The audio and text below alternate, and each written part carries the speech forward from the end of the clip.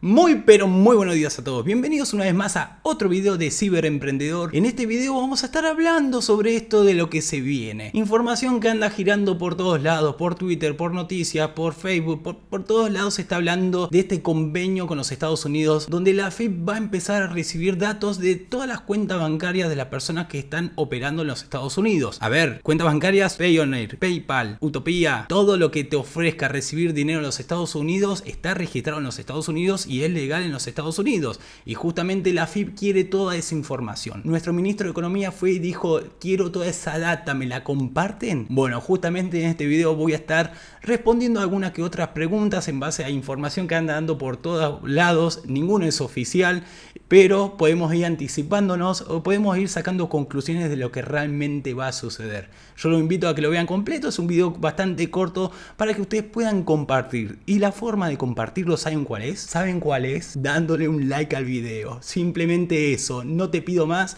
dale un like y de esa forma este video le va a llegar a muchas, muchas personas para bajar un poco el pánico. Ese pánico que nos quieren imponer, pero que nosotros, estando informados, vamos a hacer las cosas bien. Bueno gente, acá estamos dentro de Reddit. Acá tengo una comunidad de ciberemprendedor que solamente hay un miembro, que soy yo.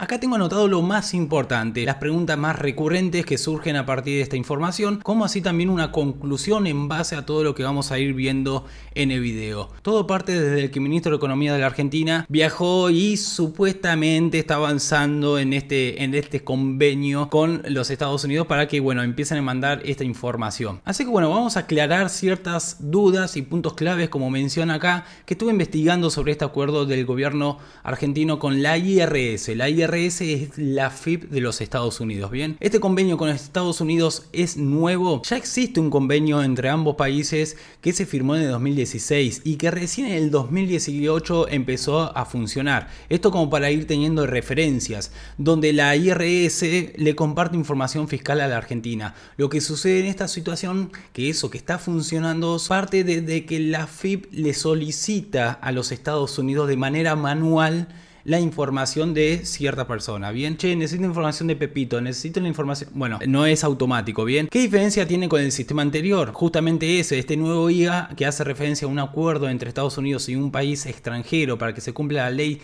de cumplimiento tributario de cuentas extranjeras en el país norteamericano, que tiene ahí unas siglas, eh, creo que FACTA, si no me equivoco, está apuntado a la automatización, digamos que no haga falta que la FIP le tenga que pedir la información, sino que se entregue de manera periódica periódica y automáticamente al ente regulador argentino. Este periodo de lo que se menciona por lo visto va a ser un año, digamos que todos los años la IRS le va a mandar a la FIP toda la información.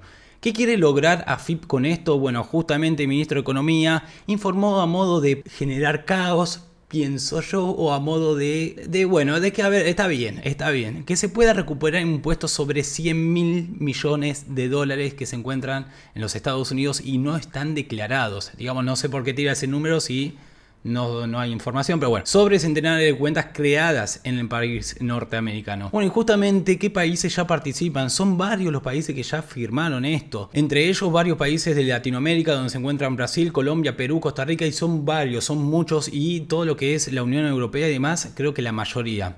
¿Por qué recién ahora quieren avanzar sobre esto? Porque anteriormente la FIB no contaba con la infraestructura, la tecnología suficiente como para brindarles un servicio a los Estados Unidos, del manejo secreto de la información que los Estados Unidos le va a mandar a Argentina de todas las cuentas que están allá. Y justamente era algo que la FIB no podía solventar. ¿Cómo nos afecta a quienes tenemos cuenta en los Estados Unidos? Gente, todos los que tengamos cuenta en PayPal, Payoneer, Utopía, todo lo que sea Estados Unidos supuestamente va a entrar acá. Significa que a partir de septiembre del 2023 la FIP comenzará a recibir información sobre datos de las cuentas. Como decíamos, esto puede ser que ya empiece a recibir eh, información de las cuentas del 2022. Un sistema parecido al convenio multilateral que ya existe con otros países como Suiza y demás, donde se intercambian información de manera constante. Gente, en un momento fue furor esto de crearse una cuenta en Ducascope y demás. Bueno, todo eso ya pertenecen a la OCDE, que es este convenio multilateral que se comparte información en distintas cuentas bancarias. Esto afecta a personas y LLC registradas, al parecer solo cuentas personales van a ser las afectadas, bueno, las que van a entrar dentro de esta información que se va a compartir, por lo que las sociedades, trust y fundaciones de interés no se ven afectadas. Esto es muy importante tenerlo en cuenta, la LLC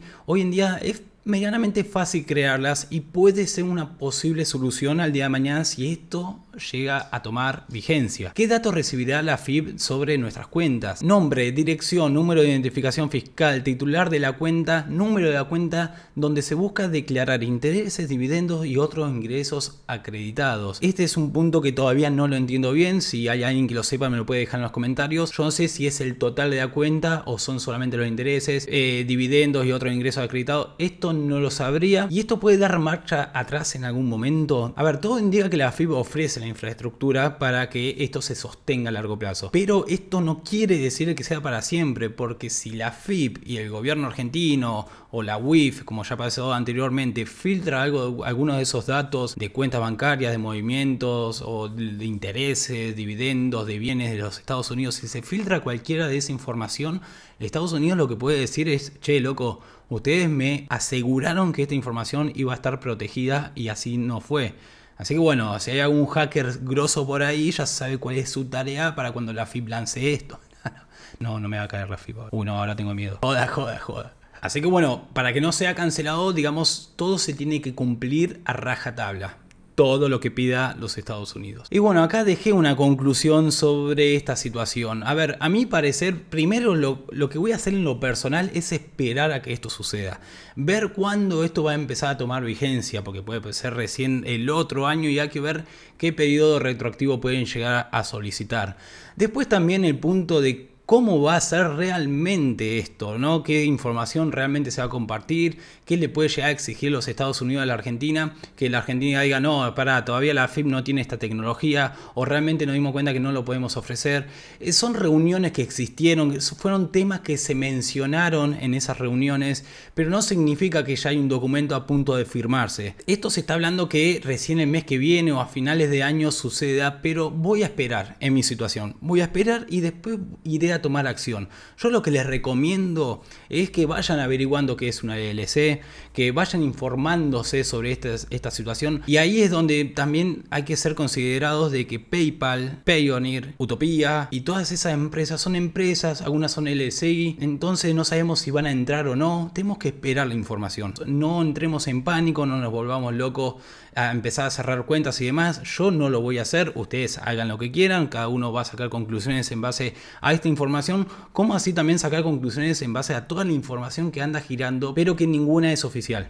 Eso, eso hay que dejarlo bien claro. Y bueno, y acá el economista Mariano Gododich me mandó también, le dije, che, Mariano, ¿qué opinás de esto? Y me mandó un video, se lo voy a compartir para que ustedes lo vean. Hola Tony, ¿cómo estás? Te comento que el intercambio de información con Estados Unidos, este de la Argentina por ahora, es puro humo. No hay nada. Eh, hay statements donde la, IRS, que es la FIP de Estados Unidos, dice en qué estado está los intercambios de información que hacen con los distintos países y la Argentina todavía ni figura. Y además, con empresas nunca hay intercambio de información, por lo tanto vos haces una LLC y listo, no hay intercambio de información. Así que ojo que no te quieran vender gato. Que no te vendan gato por liebre, es lo que quería terminar de decir Mariano, que justo se cortó el video. Y ahí es donde nosotros siempre tenemos que estar atentos. Como yo siempre comparto, la información es lo que nos va a dar la solución a largo plazo, a mediano plazo y a corto plazo, como parece que se viene esta situación. Informémonos, esperemos datos oficiales, no nos manejemos tanto con lo que nos quiere meter eh, las noticias y ciertos comentarios de Twitter. Recuerden que Twitter es un lugar para buscar opinión y no para buscar una definición de las cosas. Y esto lo digo porque hay muchas cuentas creadas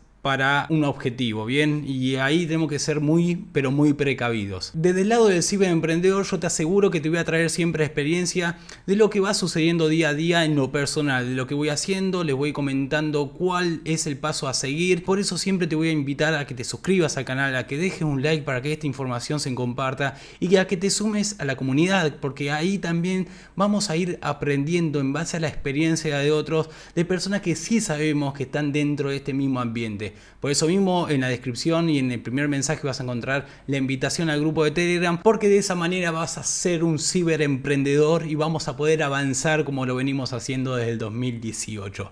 Gente, muchas gracias por haber visto el video, nos estaremos viendo en otra ocasión.